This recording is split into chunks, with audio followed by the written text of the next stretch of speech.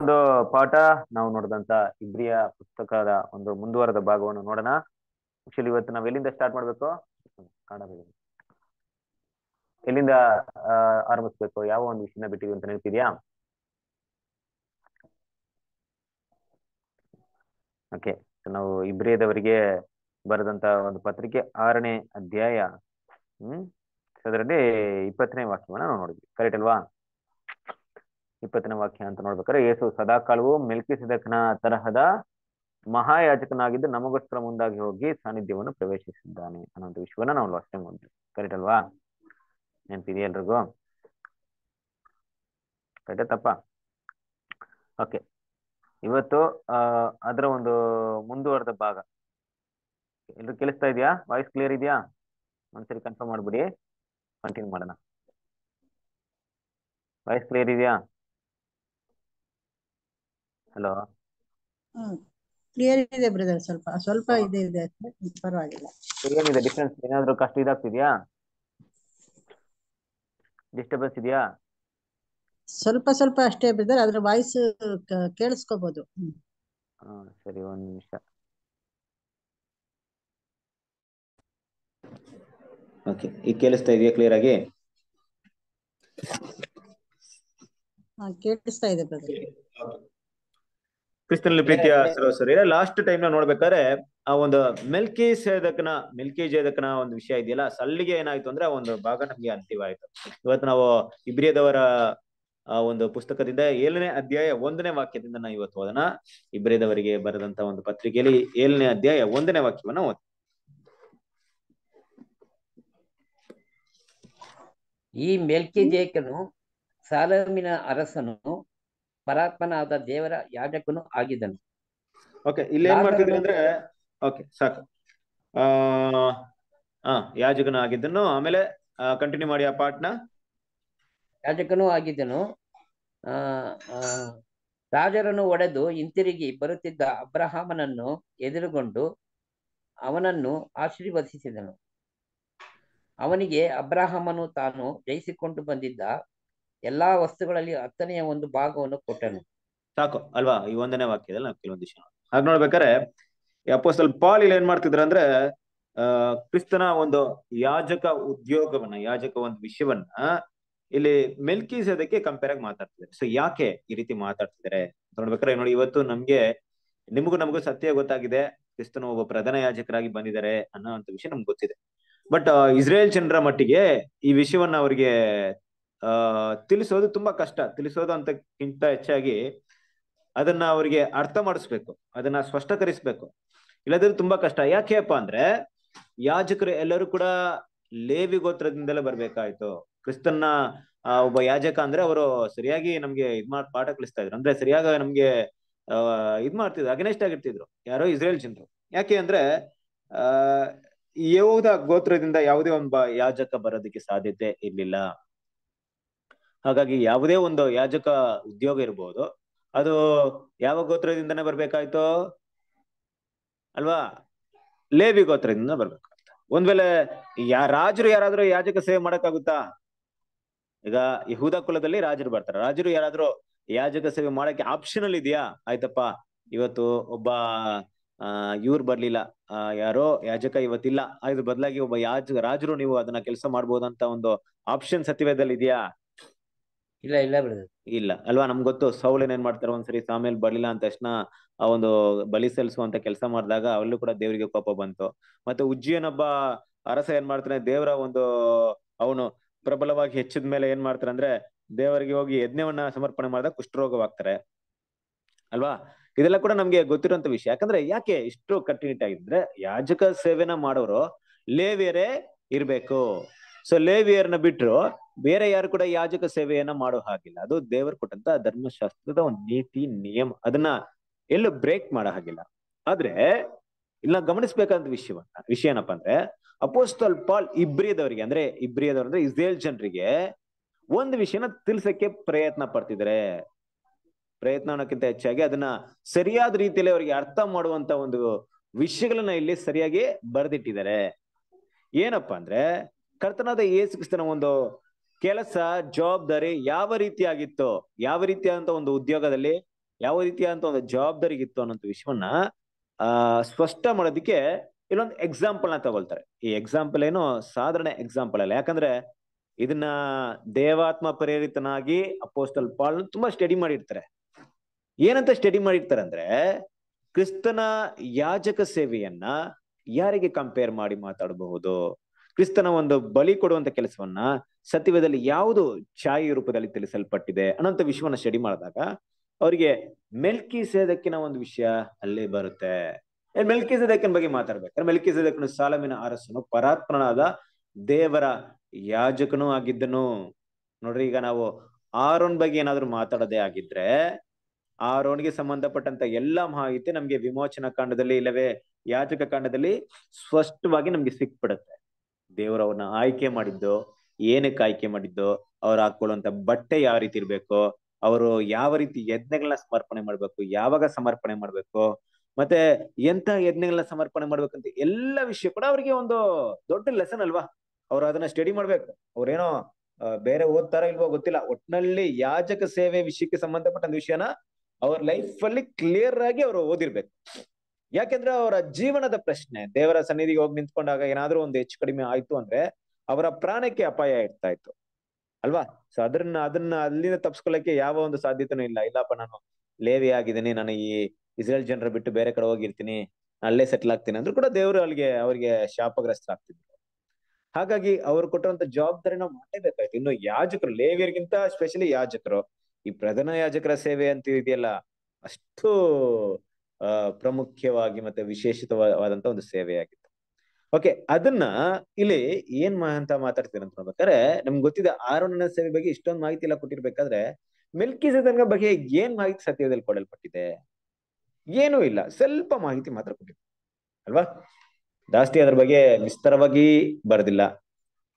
ಮೆಲ್ಕಿ ಏನ್ ಮಾಡ್ತಾರೆ, ಒಂದು ಇನ್ಸಿಡೆಂಟ್ ಅಲ್ಲಿ ಅಬ್ರಹಂ ಹೋಗಿ ಒಂದು ಸ್ವದಂ ಗಮನ ಜಯಿಸಿ ಬಂದಾಗ, ಅಲ್ಲಿರುವಂತ ಎಲ್ರು ಅರಸನೆಲ್ಲ ಗೆದ್ ಬಂದ್ಮೇಲೆ ದಾರಿಗೆ ಎದುರುಗೊಳ್ಳುವಂತ ಒಂದು ವ್ಯಕ್ತಿ ಯಾರಪ್ಪ ಅಂದ್ರೆ ಈ ಮೆಲ್ಕಿ ಈ ಮೆಲ್ಕಿ ನೋಡಿದ ತಕ್ಷಣ ಏನ್ ಮಾಡ್ತಾರೆ ಅಬ್ರಾಮ್ ಅವ್ರಿಗೆ ಅಡ್ಡ ಬಿದ್ದು ಅವರಿಂದ ಆಶೀರ್ವಾದನ ತಗೊಂಡು ಮತ್ತೆ ಅವರಿಗೆ ದಶಮ ಭಾಗವನ್ನ ಕೊಡುವಂತ ಎಲ್ಲ ವಿಷಯ. ಇಷ್ಟೇ ಇಷ್ಟೇ ಮಾಹಿತಿನ ನಾವು ನೋಡ್ತೀವಿ ಇದು ಸ್ವಲ್ಪ ಪ್ರಮಾಣದಲ್ಲಿ ಇದ್ರು ಕೂಡ, ಆದ್ರೆ ದೊಡ್ಡ ಪ್ರಮಾಣದಲ್ಲಿ ಇಲ್ಲಿ ಅಪೋಸ್ಟಲ್ ಪಾಲ್ ಮಾತಾಡ್ತಿದ್ದಾರೆ. ಅದನ್ನೇ ಇಲ್ಲಿ ವಾಕ್ಯದಲ್ಲಿ ನೋಡ್ಬೇಕಾರೆ ಈ ಮೆಲ್ಕಿ ಸದಕ್ನು ಸಾಲೋಮಿನ ಅರಸನು ಪರಾತ್ಮನಾದ ದೇವರ ಯಾಜಕನು ಆಗಿದ್ದನು. ರಾಜರು ಹೊಡೆದು ಹಿಂತಿರುಗಿ ಬರುತ್ತಿದ್ದ ಅಬ್ರಾಹ್ಮನು ಅಬ್ರಾಹ್ಮಣ ಎದುರುಗೊಂಡು ಅವನನ್ನು ಆಶೀರ್ವದಿಸಿದನು ಅನ್ನೋ ವಿಷಯವನ್ನ ಏನ್ ಮಾಡ್ತಾರೆ ಇಲ್ಲಿ ಹೇಳ್ತಾ ಇದಾರೆ ಸಾಗಿರ್ಬೇಕಾರೆ ಈ ಮೆಲ್ಕಿ ಸೆದಕ್ ಅನ್ನೋಂತ ಒಂದು ಹಿನ್ನೆಲೆ ಏನು ಅಂತ ನಾವೇನಾದ್ರೂ ಸ್ಟಡಿ ಮಾಡಿದ್ದ ಆದ್ರೆ ಸತ್ಯವೇದದಲ್ಲಿ ಇದಕ್ಕಿಂತ ಹೆಚ್ಚಾಗಿ ಯಾವುದೇ ಮಾಹಿತಿ ಇಲ್ಲ. ಅಲ್ವಾ? ಆ ಒಂದು ಇನ್ಸಿಡೆಂಟ್ ನಡೀತಲ್ಲ ಅಬ್ರಾಮ್ ಜೀವಿತದಲ್ಲಿ ಅದನ್ ಬಿಟ್ರೆ ಯಾವುದೇ ಮಾಹಿತಿ ಬಟ್ ಕೆಲವೊಂದು ಇಮ್ಯಾಜಿನೇಷನ್ ಅನ್ನೋಕ್ಕಿಂತ ಕೆಲವೊಂದು ರಿಸರ್ಚ್ ಅಂತ ಹೇಳ್ಬೋದು. ಕೆಲವೊಂದು ಏನೋ ನಮ್ಮ ಪುರಾತನ ಕೆಲವೊಬ್ಬರು ಬರಹ ಬರಹಗಾರ ಬರೆದಿರುವಂತ ಕೆಲವೊಂದು ವಿಷಯಗಳನ್ನ ತಗೊಂಡು ಅದನ್ನ ರಿಸರ್ಚ್ ಮಾಡಿ ನೋಡಿದಾಗ ಕೆಲವೊಂದು ಮಾಹಿತಿ ಬರ್ತಾ ಇದೆ. ಏನಪ್ಪಾ ಅಂದ್ರೆ ಈ ಅದಕ್ಕೆ ಯಾರಿರ್ಬೋದು ಅಂದ್ರೆ ಶಪರ್ಡ್ ಕಿಂಗ್ ಅಂತ ಕರೆಯಲ್ಪಡ್ತಾ ಇದ್ರು. ಶಪರ್ಡ್ ಕಿಂಗ್ ಅಂದ್ರೆ, ಆ, ಏನಂತ ಹೇಳ್ಬೋದು ಅಂದ್ರೆ ತುಂಬಾ, ಆ, ಕುರಿಗಳೆಲ್ಲ ಇತ್ತು ಅಂತ ಅರ್ಥ ಅಲ್ಲ. ಮುಖ್ಯವಾಗಿ ನೋಡ್ಬೇಕಾದ್ರೆ ಇವರು ಒಂದ್ ಕಡೆಯಿಂದ ಇನ್ನೊಂದ್ ಕಡೆ ಪ್ರಯಾಣ ಮಾಡ್ತಂತ ವ್ಯಕ್ತಿ ಆಗಿದ್ರು ಅನ್ನೋದು ಕೂಡ ಒಂದು ವಿಷಯ ಬರುತ್ತೆ.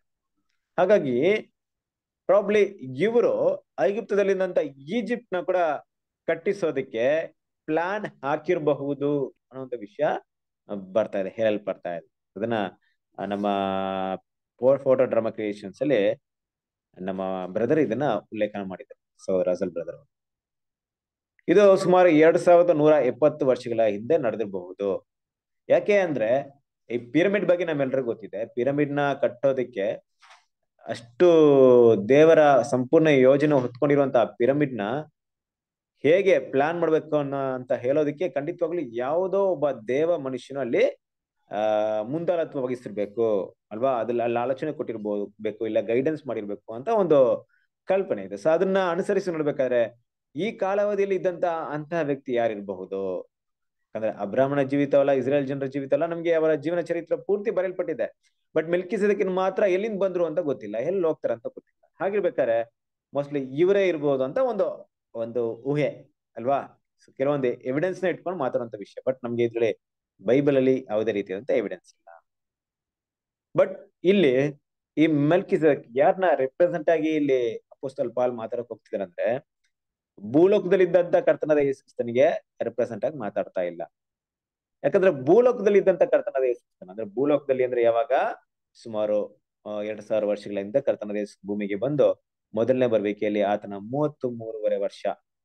ಅದರಲ್ಲಿ ಕೂಡ ಸ್ಪಷ್ಟವಾಗಿ ಆ ಮೂರುವರೆ ವರ್ಷ ಅರ್ಪಣೆ ಮಾಡಿದಂತ ಜೀವಿತಾವಧಿನ ಮೆಲ್ಕಿಸೆದಕ್ಕೆ ಕಂಪೇರ್ ಮಾಡಿ ಮಾತಾಡ್ತಾ ಇಲ್ಲ.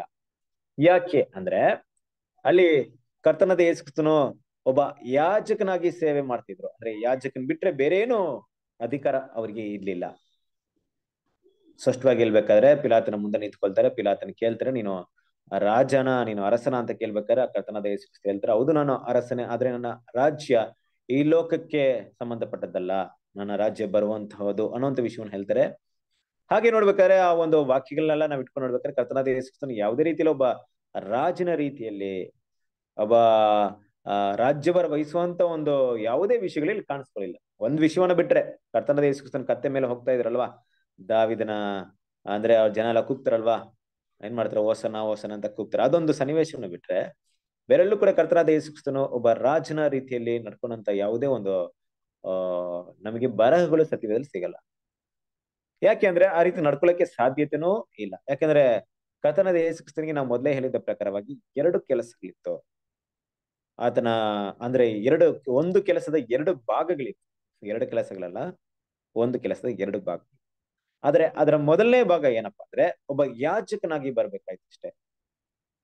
ಆದ್ರೆ ಎರಡನೇ ಭಾಗ, ಅದೇ ಒಂದು ಎರಡನೇ ಭಾಗ ಏನಪ್ಪಾ ಅಂದ್ರೆ ಕರ್ತನಾದ ಯೇಸುವಿನ ಎರಡನೇ ಬರುವಿಕೆ. ಆ ಎರಡನೇ ಬರುವಿಕೆಯನ್ನ, ಎರಡನೇ ಬರುವಿಕೆಯಲ್ಲಿ ನಡೆಯುವಂತ ವಿಷಯವನ್ನ, ಅಲ್ಲಿ ಕರ್ತನಾದ ಯೇಸುಕ್ರಿಸ್ತನ ಯಾವ ರೀತಿ ಇರ್ತಾರೆ ಅನ್ನೋ ವಿಷಯವನ್ನ ಇಲ್ಲಿ ಅಪೋಸ್ಟಲ್ ಪಾಲಿಂಗ್ ಮಾಡ್ತಾ ಅಂದ್ರೆ ಇಲ್ಲಿ ಮಾತಾಡ್ತಾ ಇದ್ದಾರೆ.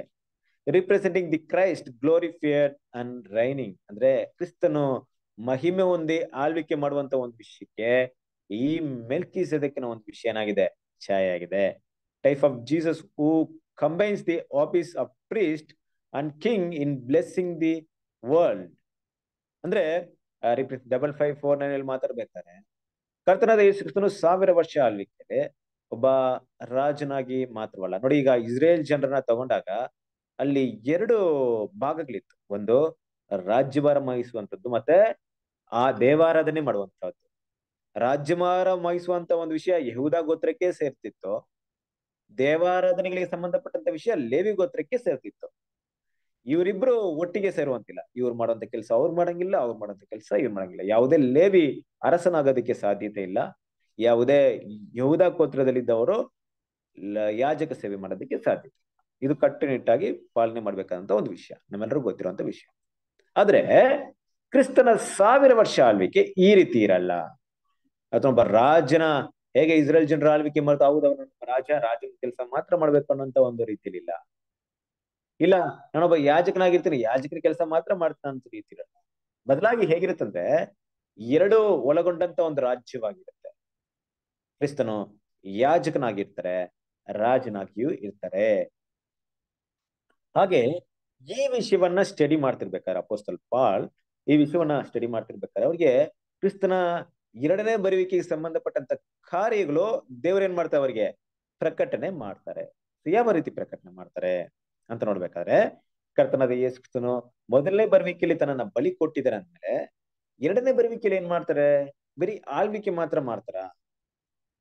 ಆಳ್ವಿಕೆ ಮಾತ್ರ ಮಾಡೋದಲ್ಲ. ಇಡೀ ಲೋಕವನ್ನ ದೇವರ ಸನ್ನಿಧಿಗೆ ತಗೊಂಡೋಗಿ ಸೇರಿಸ್ಬೇಕಂತ ಒಂದು ಕೆಲಸವಿದೆ. ಆ ಕೆಲಸವನ್ನ ಯಾವುದಕ್ಕೆ ಕಂಪೇರ್ ಆಗಿ ಮಾತಾಡಬಹುದು? ಫಾರ್ ಎಕ್ಸಾಂಪಲ್ ಆಳ್ವಿಕೆ ಮಾಡುವಂತವರು ದೇವರ ಸನ್ನಿಧಿಯಲ್ಲಿ ಹೋಗಲ್ಲ. ಶತ್ರುಗಳಿಂದ ಕಾಪಾಡ್ತಾ ಇದ್ರು ಅಷ್ಟೇ ಅವರ ಕೆಲಸ ಮಾಡ್ತಾರೆ ನಾನು ಲಾಸ್ಟ್ ವೀಕ್ ಅದ್ರ ಬಗ್ಗೆ ಮಾತಾಡಿದ್ದೆ. ಅಲ್ವಾ? ಈ ಶತ್ರುಗಳಿಂದ ಕಾಪಾಡ್ತಾರೆ ಸಾವಿರ ವರ್ಷ ಆಳ್ವಿಕೆಯಲ್ಲಿ ಕೂಡ ಸೈತನ್ ಎಂಬ ಶತ್ರುಗಳಿರ್ಬೋದು ಲೋಕದಲ್ಲಿ ಇರುವಂತ ನಾನಾ ತರಹದ ಸಿಸ್ಟಮ್ಸ್ ಇರಬಹುದು ಬೇರೆಲ್ಲವನ್ನ ಸರ್ವನಾಶ ಮಾಡುವಂತ ಕೆಲಸವನ್ನ ಕರ್ತನಾದ ಇಸ್ಕೃಷ್ಣ ಮಾಡ್ತಾರೆ. ಅಷ್ಟೇ ಮಾತ್ರ ಮಾಡ್ತಾರ? ಅಂದ್ರೆ ಇಲ್ಲ. ಇಡೀ ಲೋಕವನ್ನ ದೇವರ ಸನ್ನಿಧಿಗೆ ತಗೊಂಡೋಗಿ ಸೇರಿಸಬೇಕಾದ ಕೆಲಸ ಕೂಡ ಕರ್ತನಾದ ಯೇಸುಕ್ರಿಸ್ತನೇ ಮಾಡ್ಬೇಕಾಗಿದೆ. ಕರ್ತನಾದ ಯೇಸುಕ್ರಿಸ್ತನು ಮತ್ತೆ ಸಭೆ ಒಳಗೊಂಡು ಈ ಕೆಲಸವನ್ನು ಮಾಡ್ಬೇಕು ಬಟ್ ಇಲ್ಲಿ ಈ ಕೆಲಸ ಇಸ್ರೇಲ್ ಜನರ ಮಟ್ಟಿಗೆ ಯಾರಿಗೆ ಅದು ಸಂಬಂಧಪಟ್ಟಿರುತ್ತೆ?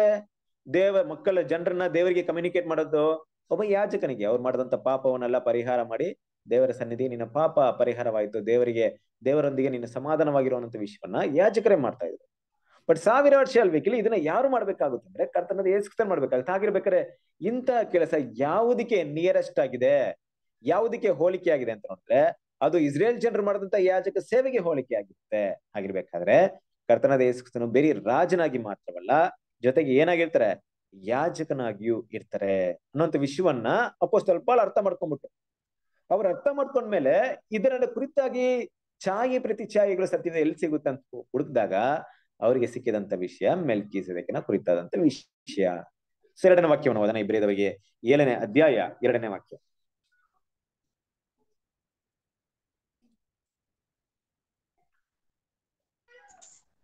ಇಬ್ರಿಯದವರಿಗೆ ಏಳನೇ ಅಧ್ಯಾಯ ಓದಿ.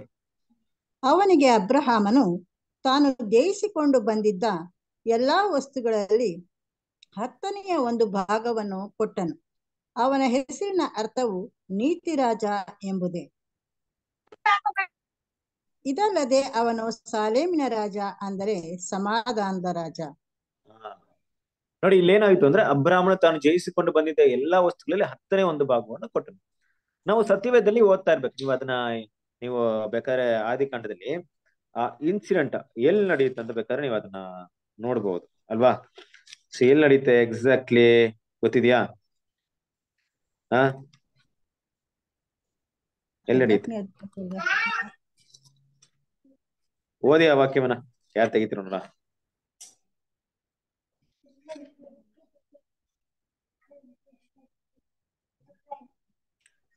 ಹಾ.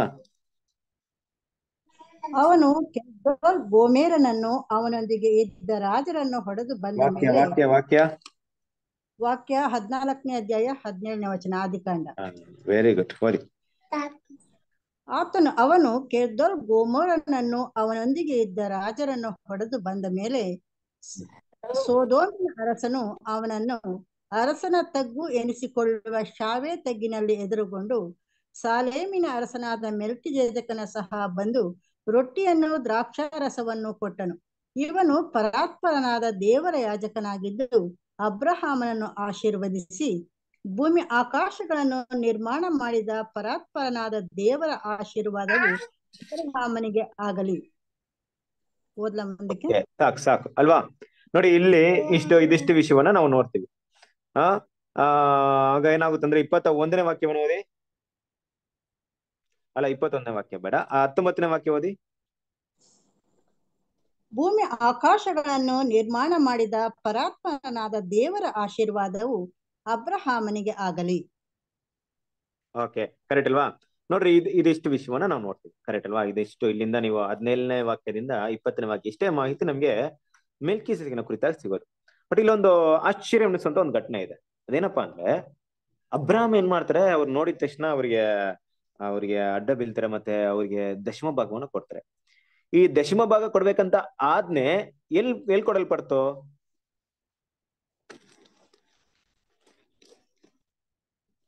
ದಶಮ ಭಾಗ ಕೊಡ್ಬೇಕಂತ ಆದ್ನೆ ಎಲ್ ಕೊಡಲ್ಪಡ್ತು?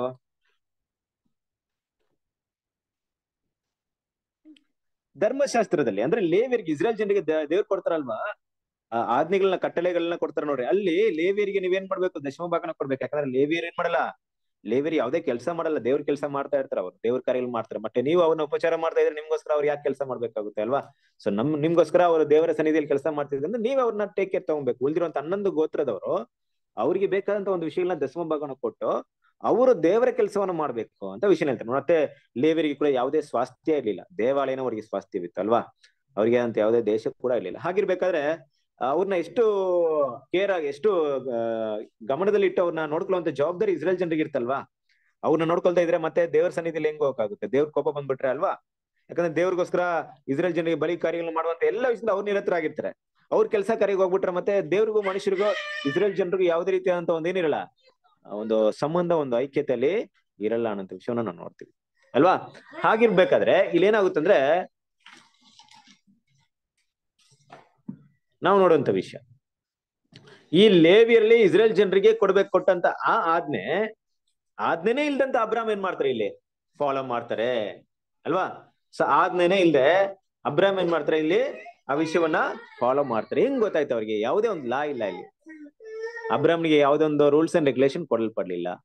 ದೇವ್ರ ಈ ರೀತಿ ದಶಮ ಭಾಗ ಕೊಡಿ ಅಂತ ಕೂಡ ಹೇಳಿಲ್ಲ. ಸ್ವಪ್ರೇರಿತವಾಗಿ ಅವರೇ ಕೊಡ್ತಾರೆ ನೋಡ್ರಿ. ಸೊ ಅಬ್ರಾಹ್ಮಣ ಒಂದು ವಿಷಯವನ್ನೇ ದೇವ್ರ ಏನ್ ಮಾಡ್ತಾರೆ? ಲಾವ್ ಆಗಿ ಕೊಡ್ತಾರೆ. ಅಂದ್ರೆ ಯಾರಿಗೆ? ಲೇವಿಯರಿಗೆ. ಹಾಗೆ ಸ್ವಪ್ರೇರಿತವಾಗಿ ಮಾಡ್ತಾರೆ. ಜೊತೆಗೆ ಇನ್ನೊಂದು ವಿಷಯ ಏನಪ್ಪಾ ಅಂದ್ರೆ, ಆ ಒಂದು ಮೆಲ್ಕಿಸೆದೆಕ್ನ ನೋಡಿದಾಗ ಅವ್ರಿಗೆ ತುಂಬಾ ಸಂತೋಷ ಆಗ್ಬಿಡುತ್ತೆ. ಯಾಕೆ ಅಂದ್ರೆ ನೋಡಿ, ಇಲ್ಲಿವರೆಗೂ ದೇವರು ಮಾತಾಡಿದ್ದು ಒಬ್ಬ ದೂತ್ರ ಮೂಲಕ ಮಾತಾಡಿರ್ಬೋದು ಅಬ್ರಾಹ್ಮಣ ಹತ್ರ. ಇಲ್ಲವೇ ಹೇಗ್ ಮಾತಾಡಿರ್ತಾರೆ? ಬೇರೆ ಯಾವುದೇ ರೀತಿಯಲ್ಲಿ ಮಾತಾಡಿರ್ತಾರೆ. ಅಷ್ಟೇ ಅಬ್ರಾಹ್ಮಣನ ಚರಿತ್ರೆನ ನೀವು ಸ್ಟಡಿ ಮಾಡಿ ನೋಡ್ರಿ. ಹನ್ನೆರಡನೇ ಅಧ್ಯಾಯದಿಂದ ಬಂದಾಗ ದೇವರ ಒಂದು ಧ್ವನಿನ ಕೇಳಿರ್ತಾರೆ, ಇಲ್ಲ ದೂತ್ರ ಮೂಲಕ ಮಾತಾಡಿರ್ತಾರೆ. ಮತ್ತೆ ಮೂರ್ ಜನ ದೂತರು ಅವ್ರ ಮನೆಗೆ ಬಂದ್ ಮಾತಾಡಿರ್ತಾರೆ, ಹೀಗೆ ಮಾತಾಡಿರ್ತಾರೆ. ಆದ್ರೆ ಅಬ್ರಾಹ್ಮಣಿಗೆ ಏನ್ ಅನ್ಸುತ್ತೆ ಅಂದ್ರೆ ನನ್ನ ರೀತಿಯಲ್ಲಿ ಯಾವ್ದಾದ್ರು ದೇವ್ರ ಮನುಷ್ಯರು ಇದಾರ, ದೇವ್ರಿಗೆ ಎದುರಂತ ವ್ಯಕ್ತಿ ನಾನು ನೋಡ್ಲೇ ಇಲ್ಲ ಅವ್ರು.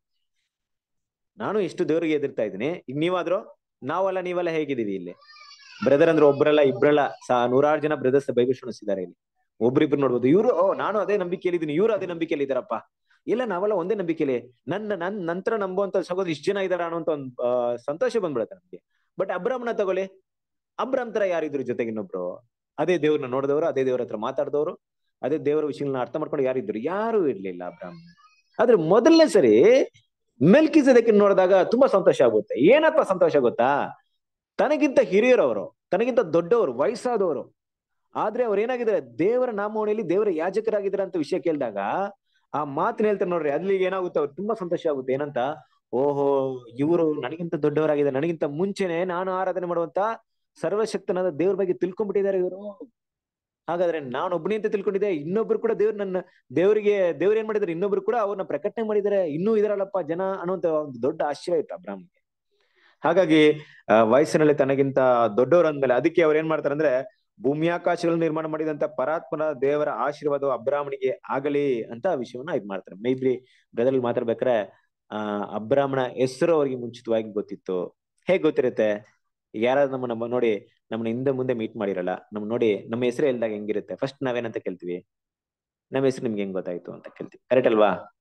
ಹಾಗೆ ಸೊ ಇಲ್ಲಿ ಮೆಲ್ಕಿಸದಕ್ ಅಬ್ರಾಮ್ನ ಬ್ಲೆಸ್ ಮಾಡ್ಬೇಕಾದ್ರೆ, ಅಬ್ರಾಮ್ನ ಅಬ್ರಾಹ್ಮ ಅಂತ ತಿಳ್ಕೊಂಡು ಅವ್ರಿಗೆ ಅಬ್ರಾಹ್ಮ ಅಂತ ಕರಿಬೇಕಾದ್ರೆ ಅವ್ರಿಗೆ ಏನ್ ಅನಿಸ್ತು ಅಂದ್ರೆ ಖಂಡಿತವಾಗ್ಲು ನಾನು ಆರಾಧನೆ ಮಾಡುವಂತ ದೇವ್ರು ನನ್ನ ಬಗ್ಗೆ ಅವರಿಗೆ ಮಾಹಿತಿ ಕೊಟ್ಟಿದ್ದಾರೆ ಅಂತ ಗೊತ್ತಾಯ್ತು ಅವರಿಗೆ.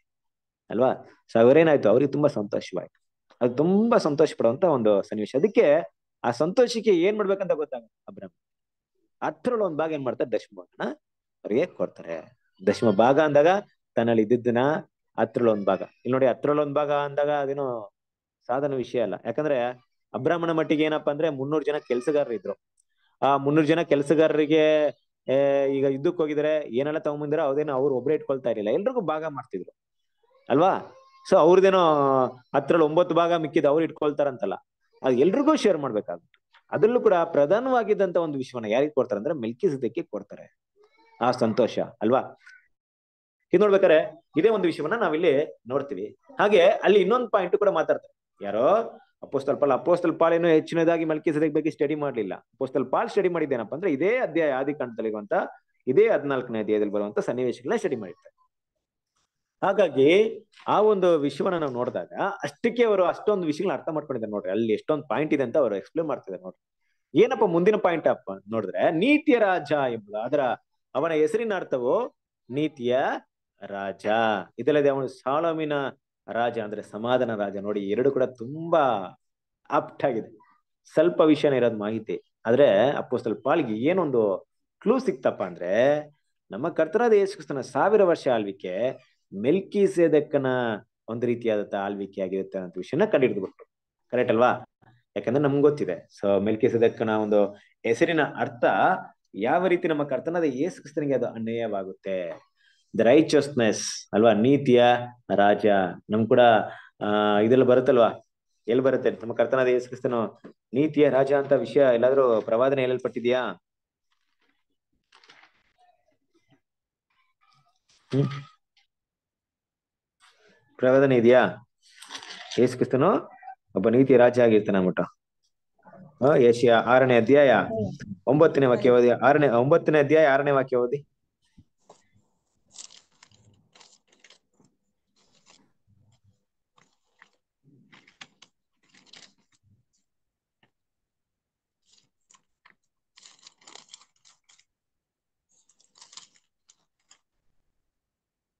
ಒಂದು ಮಗು ನಮಗಾಗಿ ಹುಟ್ಟಿದೆಯಷ್ಟೇ. ವರದ ಮಗನು ನಮಗೆ ದೊರೆತನು. ಆಡಳಿತವು ಅವನ ಬಾಹುವಿನ ಮೇಲೆ ಇರುವುದು. ಅದ್ಭುತ ಸ್ವರೂಪನು ಆಲೋಚನಾ ಕರ್ತನು ಪರಾಕ್ರಮಿಯಾದ ದೇವರು ನಿತ್ಯನಾದ ತಂದೆ ಸಮಾಧಾನದ ಪ್ರಭು ಎಂಬುವು ಅವನ ಹೆಸರು. ನೋಡ್ರಿ ಸೊ ಇದೆಲ್ಲ ಕರ್ತನದ ಹೆಸರು ಕೊಡಲ್ಪಟ್ಟಂತ ವಿಷಯ.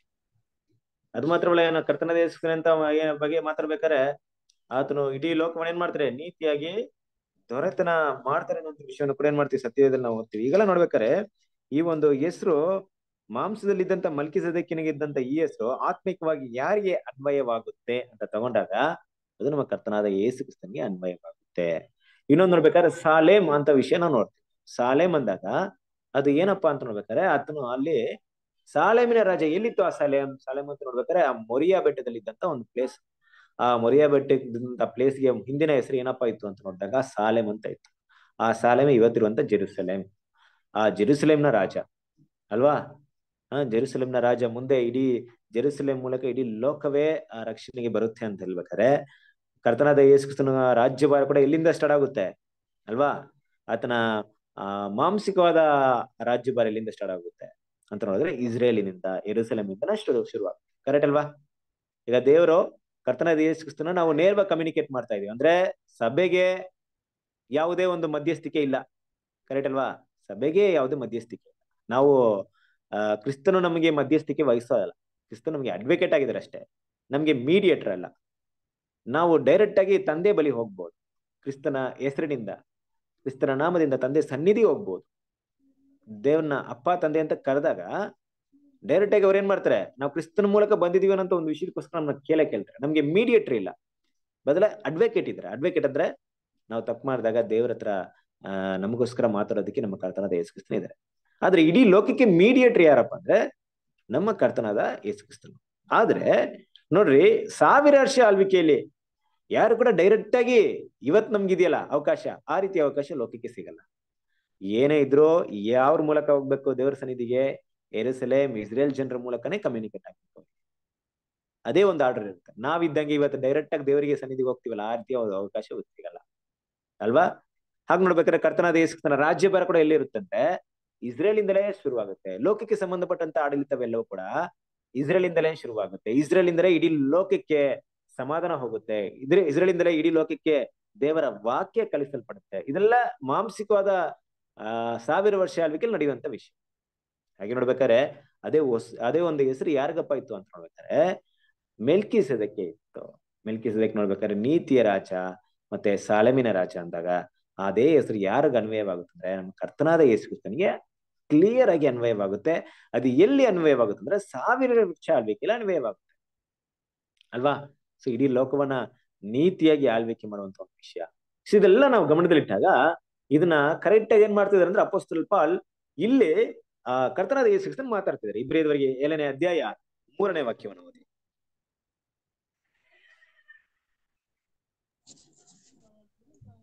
ಅವನಿಗೆ ತಂದೆಯು ತಾಯಿಯು ವಂಶಾವಳಿಯೂ ಇಲ್ಲ. ಜನ್ಮದ ಆರಂಭವೂ ಆಯುಷ್ಯದ ಅಂತ್ಯವೂ ಇಲ್ಲ. ಅವನು ದೇವರ ಮಗನಿಗೆ ಸಮಾನ ಮಾಡಲ್ಪಟ್ಟಿದ್ದಾನೆ. ಅವನು ನಿರಂತರವಾಗಿ ಯಾಜಕನಾಗಿರುವವನು. ಹಾ ನೋಡಿದ್ರ ಇಲ್ಲಿ ನೋಡಿ ಅವನಿಗೆ ತಂದೆ ತಾಯಿ ಇಲ್ಲ ಸೊ ಕೆಲವ್ರು ಏನ್ ಮಾಡ್ತಾರೆ ಅಂದ್ರೆ, ಈ ಟ್ರಿನಿಟಿ ಕಾನ್ಸೆಪ್ಟ್ನ ಇಟ್ಕೊಂಡಿರೋರು, ತಂದೆ ತಾಯಿ ಇಲ್ಲ ಅಂದ್ರೆ ಏನಂತ ಆಗ್ಬಿಡುತ್ತೆ? ಏಸು ಕ್ರಿಸ್ತನು ದೇವರ ಮಗ ಅಂದಾಗ ನೋಡಿ ಏಸು ಕ್ರಿಸ್ತನ ಹೆಂಗೆ ದೇವ್ರ ಮಗ ಅಂತ ಹೇಳ್ತೀರಾ? ಏಸ್ ಕ್ರಿಸ್ತ ದೇವ್ರ ಮಗ ಅಲ್ಲ ಏಸು ಕ್ರಿಸ್ತ ದೇವ್ರೆ. ಮೆಲ್ಕಿಸದ ರೀತಿ ಮೆಲ್ಕಿಸದಕ್ಕೆ ಹೆಂಗೆ ತಂದೆ ತಾಯಿ ಇಲ್ಲ ಅಂತಿದ್ಯೋ, ಹಾಗೆ ಏಸ್ ಹುಟ್ಟಿಲ್ಲ. ಅದೇನ್ ಸೃಷ್ಟಿ ಇಲ್ಲ ಅಂತ ಕೆಲವೊಂದು ವಿಷಯ ಕೆಲವೊಂದು ಜನರು ಇಲ್ಲಿ ವಾದ ಮಾಡ್ತಾರೆ. ಬಟ್ ಇಲ್ಲಿನ ಅರ್ಥವೇನಪ್ಪಾ ಅಂದ್ರೆ, ತಂದೆ ತಾಯಿ ವಂಶವಾಳಿಯೂ ಇಲ್ಲ ಅಂತ ಬರ್ತಾ ಇದೆ. ಅಂದ್ರೆ ಏನು? ಇದು ನಮ್ಮ ಕರ್ತನದ ಯೇಸುಕ್ರಿಸ್ತನ ಹೋಲಿಕೆಯಾಗಿ ಮಾತಾಡ್ತಿದ್ರೆ ಇಲ್ಲಿ? ಅಲ್ವಾ? ತಂದೆ ತಾಯಿಯು ವಂಶವಾಳಿಯೂ ಇಲ್ಲ ಅಂದಾಗ ನಮ್ಮ ಕರ್ತನದ ಯೇಸುಕ್ರಿಸ್ತನು ಆದಾಮಿನ ಒಂದು ಜನರೇಷನ್ ಅಲ್ಲಿ ಬರ್ಲಿಲ್ಲ. ಅಲ್ವಾ? ಆದಾಮನ ಜೀನಾಲಜಿಲಿ ಆದಾಮನ ಒಂದು ಸಂತತಿಲಿ ಆತನು ಕರ್ತನದ ಯೇಸುಕ್ರಿಸ್ತನು ಹುಟ್ಟಲಿಲ್ಲ ಅನ್ನೋದು ಇಲ್ಲಿ ನಾವು ನೆನಪಲ್ಲಿಡ್ಬೇಕಂತ ಒಂದು ಮುಖ್ಯವಾದಂತ ಒಂದು ವಿಷಯ. ಸೊ ಅದನ್ನ ನಾವು ಮಿಸ್ಅಂಡರ್ಸ್ಟ್ಯಾಂಡಿಂಗ್ ಮಾಡ್ಕೊಬಾರ್ದು ಅಂದ್ರೆ ಆದಾಮಿಕ್ ಸಿನ್ ಆತನ ಮೇಲೆ ಇರ್ಲಿಲ್ಲ. ಸೊ ಅವರು ತಂದೆ ಯೋಸೇಪನ್ ಅಂತ ಎಲ್ಲಾದ್ರೂ ಬೈಬಲ್ ಮೆನ್ಷನ್ ಆಗಿದ್ಯಾ? ನಾವು ಮತ್ತೇನ ಸುವಾರ್ತೆ ಒಂದನೇ ಅಧ್ಯಾಯ ಅದ್ರಲ್ಲಿ ಬರುವಂತ ಒಂದು ವಂಶವಳಿಯನ್ನು ಕೂಡ ನಾವು ನೋಡಿದಾಗ, ಅಲ್ಲಿ ದಾವಿದನು ಅಂತ ಅಬ್ರಾಹ್ಮನು ಇಸಾಕನನ್ನು ಪಡೆದನು, ಇಸಾಕನ ಯಾಕೊಬ್ಬನನ್ನು ಪಡೆದ್ರು ಅಂತ ಮಾತಾಡ್ಕೊಂಡ್ ಬರ್ತಾರೆ. ಕೊನೆಗ್ ಬಂದಾಗ ಯೇಸು ಕ್ರಿಸ್ತನ ಹತ್ರ ಬಂದಾಗ ಏನಂತ ಮಾತಾಡ್ತಾರೆ? ಮತ್ತೇನ ಸುವಾರ್ತೆ? ಒಂದನೇ ಅಧ್ಯಾಯ.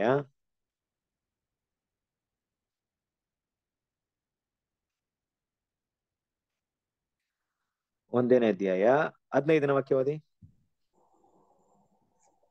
ಹದಿನಾರು ಹದಿನಾರು ಓದ್ಬಿಡ್ರಿ. ಯಾಕೋಬನು ಮರಿಯಳ ಗಂಡನಾದ ಯೋಸೆಫನನ್ನು ಪಡೆದನು. ಆ ಮರಿಯಳಲ್ಲಿ ಕ್ರಿಸ್ತನೆಂಬ ಯೇಸು ಹುಟ್ಟಿದನು. ಹಾ ನೋಡಿದ್ರ. ಮರಿಯಳಲ್ಲಿ ಕ್ರಿಸ್ತನೆಂಬ ಯೇಸು ಹುಟ್ಟಿದ. ಈಗ ಯೋಸೇಪನ ಯೇಸುನ್ ಪಡೆದಂತ ಬರ್ದಿದ್ಯಾ? ಇಲ್ಲ. ಅಂದ್ರೆ ಏನರ್ಥ? ಇಲ್ಲ. ಯಾಕಂದ್ರೆ ಯೋಸೇಪನ ಮೂಲಕ ಕರ್ತನಾದ ಯೇಸು ಕ್ರಿಸ್ತನಾಗ್ಲಿಲ್ಲ. ಹುಟ್ಲಿಲ್ಲ. ಹ? ಹಾಗೆ ನೋಡ್ಬೇಕಾದ್ರೆ ಆ, ತಂದೆ ತಾಯಿಯೂ ಇಲ್ಲ ಅಂತ ಹೇಳ್ಬೇಕಾದ್ರೆ ನೋಡಿ ಮುಖ್ಯವಾಗಿ ಇಲ್ಲಿ, ಆ ಮರಿಯಲು ಅಂತ ತಗೊಂಡಾಗ ಮರಿಯಲ್ ಏನ್ ಮಾಡ್ತಾರೆ?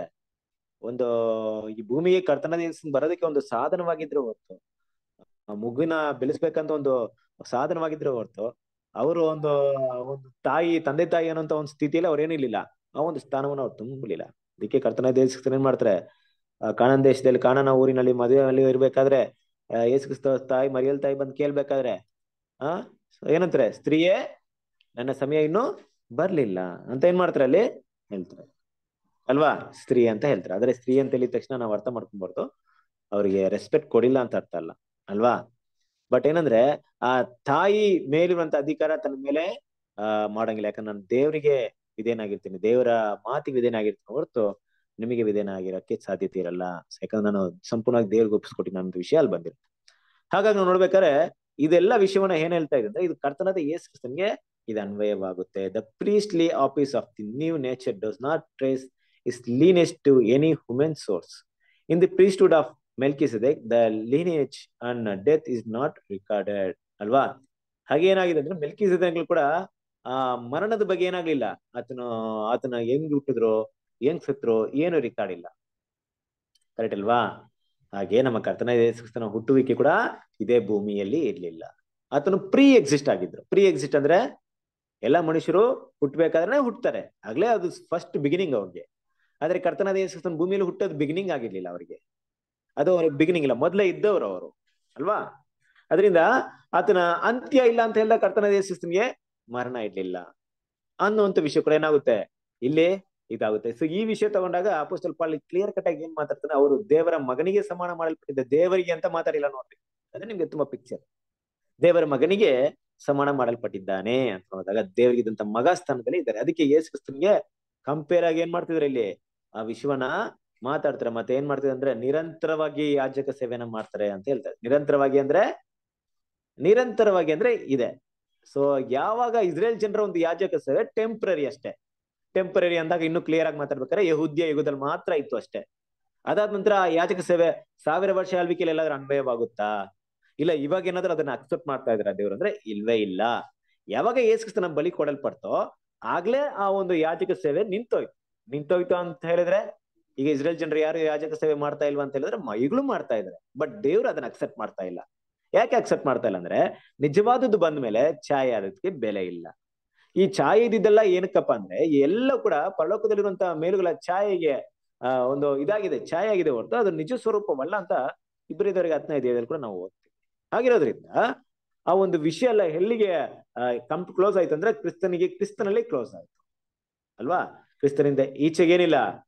ಯಾವುದೇ ಒಂದು ಇಸ್ರೇಲ್ ಮಾಡುವಂತ ಯಾಜಕ ಸೇವೆನ ದೇವರು ಅಕ್ಸೆಪ್ಟ್ ಮಾಡಲ್ಲ. ಅಲ್ಲಿಂದ ಈಚೆಗೆ ಯಾವ್ದಿರುತ್ತೆ? ಕ್ರಿಸ್ತನ ಯಾಜಕತ್ವ ಮಾತ್ರ ಇರುತ್ತೆ.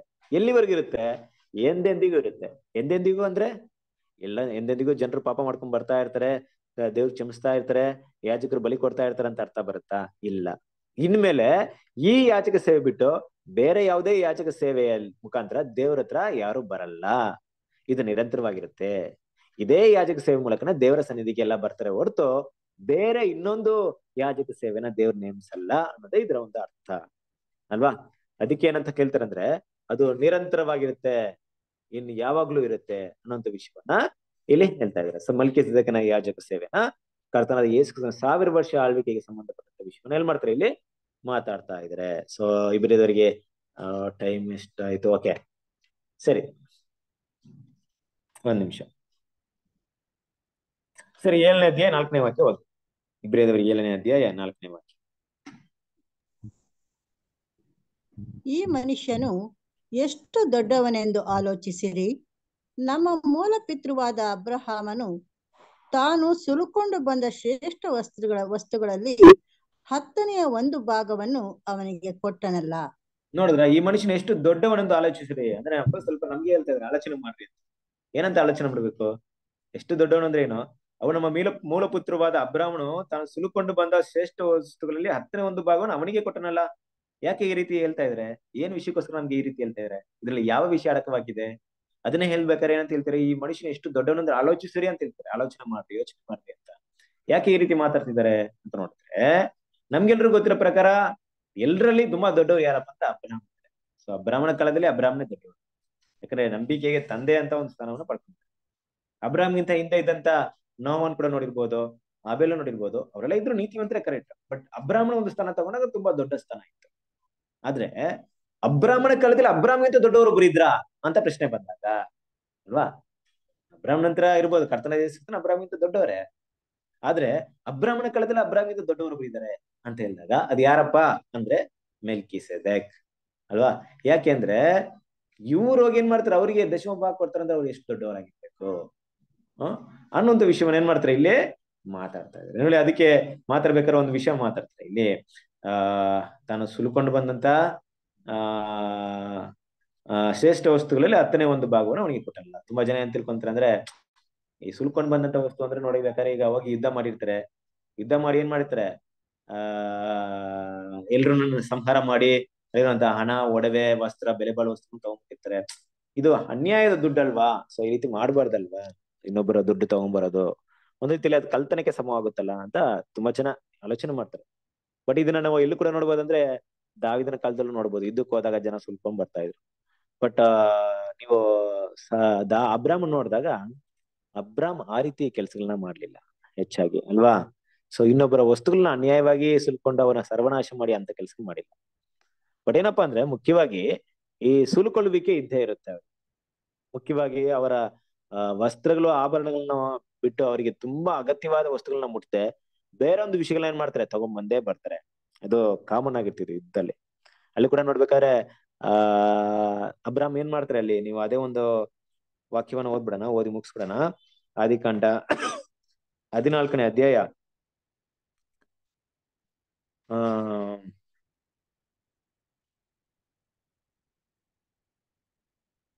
ಓಕೆ, ಹದಿನಾಲ್ಕನೇ ಅಧ್ಯಾಯ.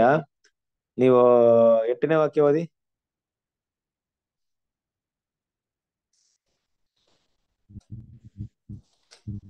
ಆಗ ಸೋದೋಮ್ ಗೋಮರ ಅದ್ಮಹ ಚಿಬೋಯಿಂ ನೀವೇನ್ ಮಾಡ್ತೀರಾ ಅಂದ್ರೆ ಇಪ್ಪತ್ತ ಮೂರಲ್ಲಿ ಓದಿ ಇಪ್ಪತ್ತೊಂದರಿಂದ ಓದ್ಕೊಂಬನ್ನಿ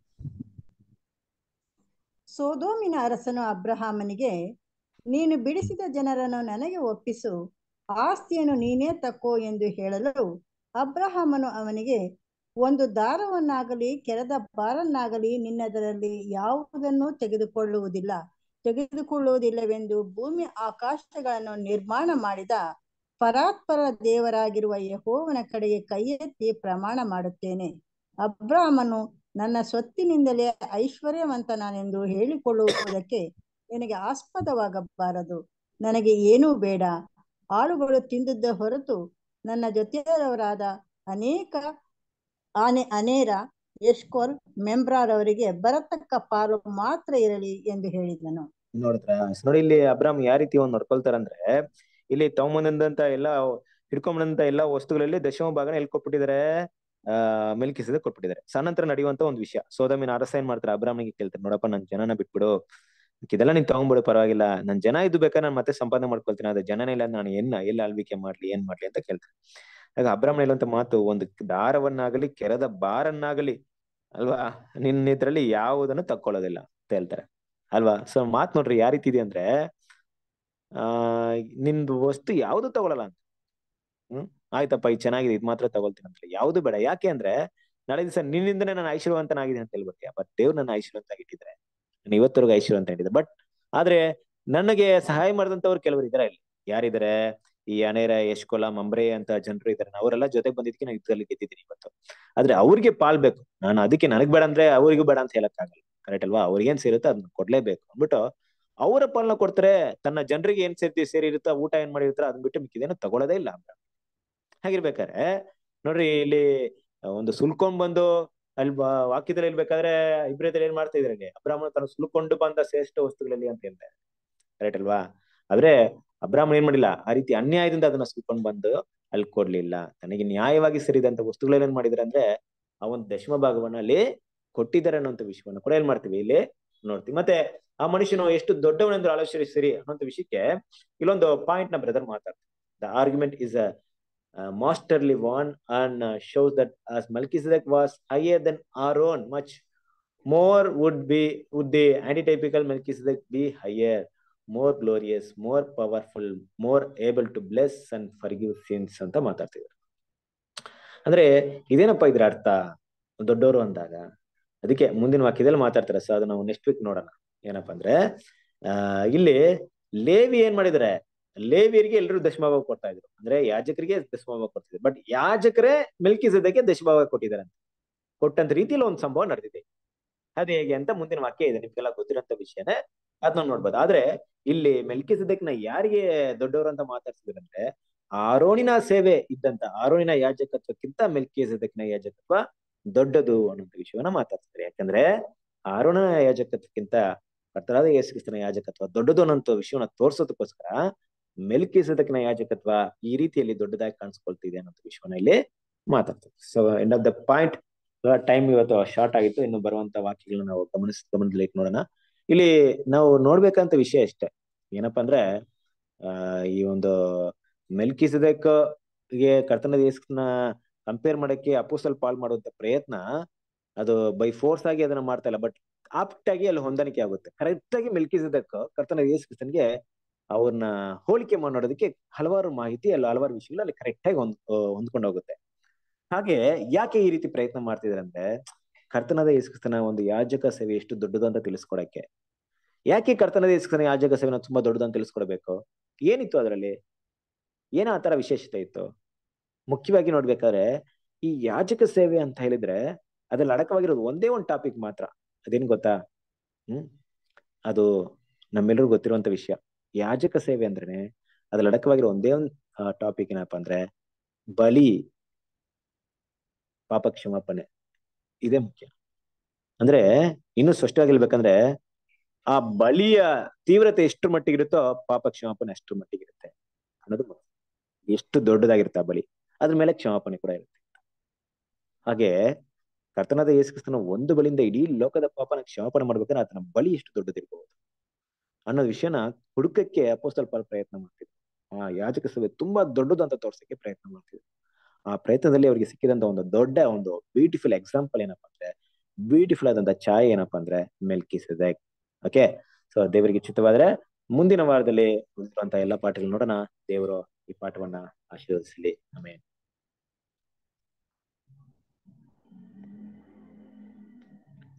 ಓಕೆ ಸಮಯ ಶಾರ್ಟ್ ಆಗಿದೆ ಮುಗಿಸೋಣ